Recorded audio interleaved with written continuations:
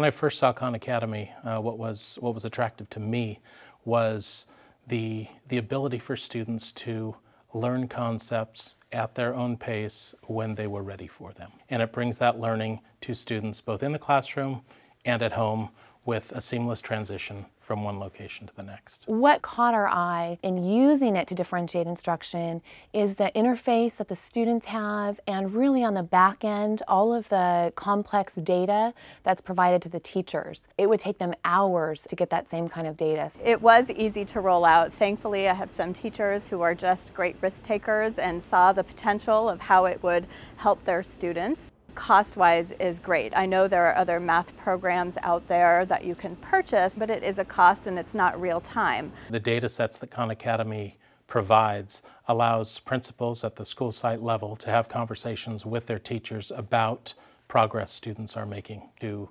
recognize very quickly which students are grasping skills and moving ahead, which students are struggling with a particular concept, and which students are stuck and need some additional intervention. Khan Academy is directly helping because every day every child has the opportunity to have individualized learning opportunities um, where they are specifically working at their level, being provided with instantaneous feedback, which is not something that they would get in the traditional teacher lecture model. I see every student utterly engaged in what they're doing and they are talking about math, they are excited about math, they're appropriately challenged, and those kids who are really math superstars are able to push themselves to where they want to be.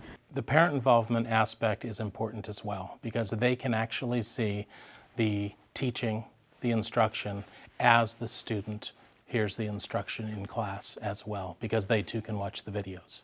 It brings an opportunity into the home for parents to have conversations with their children about math, about learning, and about what they're doing in school.